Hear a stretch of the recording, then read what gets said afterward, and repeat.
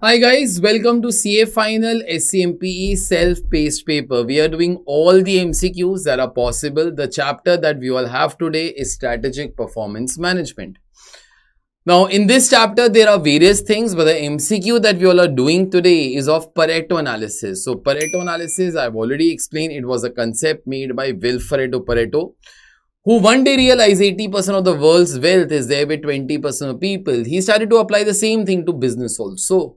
So he told one general rule 80% of the output from any company is because of 20% of the input. So therefore this 20% is very important because it leads to 80% of the output.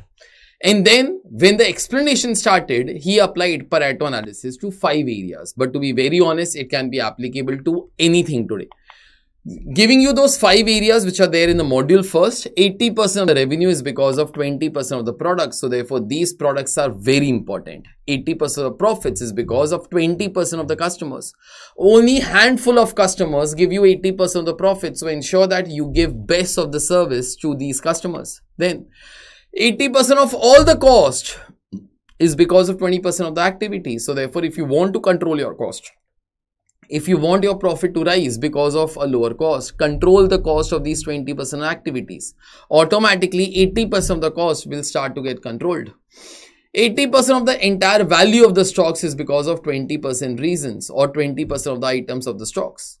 So therefore, ensure that these 20% of the stocks are controlled properly because they constitute around 80% of the total value of the stock. In fact, this entire thing was there in form of category A, category B and category C in your material costing in CA Inter.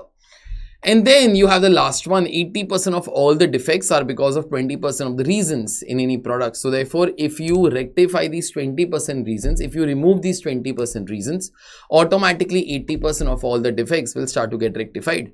Few other places where it can be applied is that 80% of the output in any company it will be because of 20% of the employees. It could be the CEO, it could be the CFOs up and so on. These people are most important and that is why like you know these guys get the highest payment also. 80% of all the doubts in a class are usually asked by 20% of the students. You must have noticed that thing in CA Inter also. And one personal thing that I've told in past also, and that thing is 80% of all my fights with my wife is because of 20% of the reasons that I'm wearing slippers inside, not keeping the towel at a proper place, blah, blah, blah, blah, blah. Okay, now, how true this is in real life, if you will think, we all have heard of every company. We all have heard of this company a lot, Apple company, right? Now, this company manufactures so many products, whatever is there on the screen. These are all the products that Apple has made till now, okay. Obviously, let's cut out all those products which are not made now, okay, like say old Macintosh, few computers that were made, let's cancel out. But even those products which are made now, do you think that Tim Cook actually monitors and takes a decision about all the products? No he only takes the decisions about those products which are most valuable to the company. Those products which give them approximately 80% of the revenue and 80% of the profits. Those products are most important. Obviously, in that iPhone will be the first one because iPhone is something that contributes maximum to Apple's uh, revenue and profit. So therefore that product is most important. So therefore every decision regarding iPhone, what should be the selling price, what offers to give, what should be the packing, what should be coming along with iPhone, where, where, what, what pricing will be there, where to manufacture it in China or in India now. Okay. Do you think so? He'll be spending sleepless nights on what is the sales of this mouse across the entire world? No, because the sales that this mouse will be giving will not be even 0.01% of Apple's revenue. So why to waste the time of the top management? So basically, your Pareto analysis gives you that top management should concentrate on vital few things because these are around 80% important okay these are few things but give you 80% profits 80% revenue these are vital few things that give you all the returns. So concentrate on these things. Top management doesn't have time to concentrate on every small damn little thing. So therefore Pareto analysis tells that where should the time of top management be spent? Let's do today's question.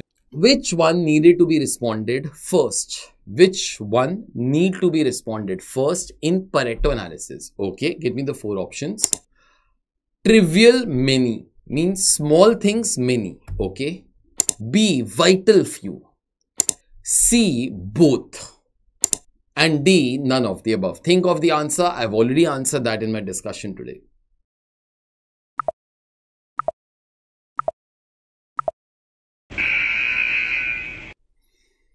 Okay, you should have commented in case you have not, please pause the video over here, comment and then re-continue. So, obviously the answer is going to be vital few. Top management cannot concentrate on A and B both. Means they will concentrate on every damn little thing, okay?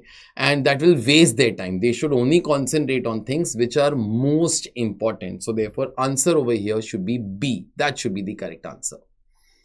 Yeah, that's the correct answer. Thank you guys. Uh, we are taking good efforts to ensure that all your MCQs and everything is answered. Your course is being done in a proper way. Everything that is there in the modules is being done. In the course that we are giving for SCMPE, we are trying to have all our perfect answers which will match with the module, but then there is a consistent way of thinking and answering that. If you do that, only then you will be able to answer any strange questions, else it might not be possible. I'll see you all next time with another MCQ. Bye. Take care.